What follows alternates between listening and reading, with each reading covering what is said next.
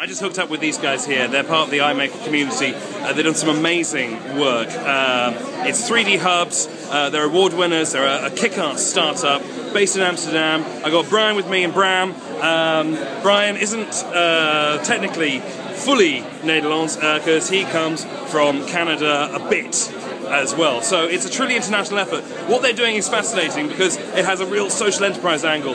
I'm going to stop waffling on because you don't want to hear what I think. Let's talk to Bram first. Bram, what gave you the idea to set up 3D hubs? Well, the idea is that 3D printing is really cool and everybody hears about it, but nobody, very little people have actually seen it. But there's a lot of 3D printers around the world, uh, people there you know, having a printer doing nothing. So we are connecting them to the people who would like to see the process, like to have products printed for them. Okay, so so immediately you're connecting people up within the community. Brian, I, am going to ask you. Sure. This is kind of like bringing manufacturing into the social space. How do you? I mean, you know, how do you make that work? Yeah. It's, basically, it's decentralized manufacturing, right? So instead of making everything in China, it's making everything here and instead of making one million of the same things, it's making one million different products. So yeah, that's I think really cool, and I don't think people are all the same. So why should all have the same products? Okay, so we're talking about personalized production here, but this is the thing that really starts to excite me. Coming from, you know, in my other life doing a lot of stuff with politics and economics, um, this is going to have a hugely disruptive effect uh, in the world of uh, traditional logistics. It's going to affect oil prices. It's going to affect global economic uh, issues. I mean, where do you guys see us 10 years from now with uh, the, the impact of 3D printing on, on global manufacturing? We, we have the ambition to make the biggest uh, global production network, uh, decentralized production network in the world. So, yeah. we're, we're bringing production closer than ever to the end user.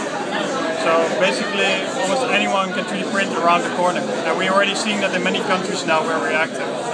Okay, now there's another question here as well, because one, one of the big issues that you hear about is that, you know, globalization, corporations getting further and further away from the people that buy their stuff. And that has a negative social impact.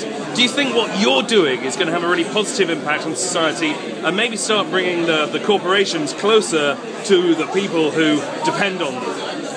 I think it's similar to what music, what happened to music when the internet came about, right? So sharing music became easier, and with 3D printing, sharing products will become easier. And I think in 10 years we'll have like a Spotify for products, right? So you take a subscription, you can print whatever you like in terms of products. Okay, you heard it here first. Spotify for products. If that isn't totally awesome and kick ass in a way that I'm too old to understand, I'm sure the young people out there will have it going on. Now, you guys, your uh, back, uh, startup, so are you VC backed? We're talking to investors currently, but we only started two months ago. We are in an accelerator program in Amsterdam, so startup accelerator, uh, which means we have a first investment and we have a set program for the first 200 days. So okay, so, so as someone who's been involved in the startup scene myself, you're two months in, what's the interest been like? Crazy. Awesome. Everybody's pulling at us. Users of the platform, press, investors. Really? Uh, it's not. People want a lot of features, and it's just it's even difficult to keep up with email, let alone keep up with adding features to the website. So it's, it's amazing. It's really cool. That is fantastic. Look out for these guys. Look out for Brian. Look out for Bram. Uh, look out for 3D Hubs. What's your Twitter ID? 3D Hubs. And go to 3dhubs.com slash London and sign up your printer. Okay, 3dhubs.com slash London. Wait, you can sign up your own printer? Yeah, yeah. Okay. become a hub in our network. Right? You can become a hub on the network. Oh, I, I just I thought the video was going to end. I was building up to the big finish there, but that that is the money shot. How do how does that work? We sign up our printers and we get involved in your distribution network. Yeah, exactly. You start making stuff for your neighborhood. That's the whole idea. Everybody's a mini factory. Wow. Wow. Okay, I need more wine because I just damaged my brain with that. These guys are totally awesome. Uh, guys, thank you so much. Follow 3D Hubs on Twitter.